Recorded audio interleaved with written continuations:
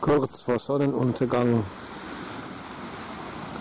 Den ganzen Tag über war es wolkenlos bei über 20 Grad Celsius, Windstille.